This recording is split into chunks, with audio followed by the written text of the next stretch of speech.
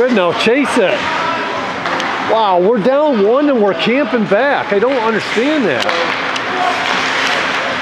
And again, we don't want to let up another one, but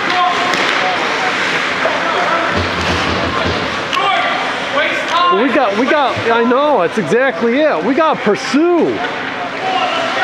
Put, you got to pressure them, man.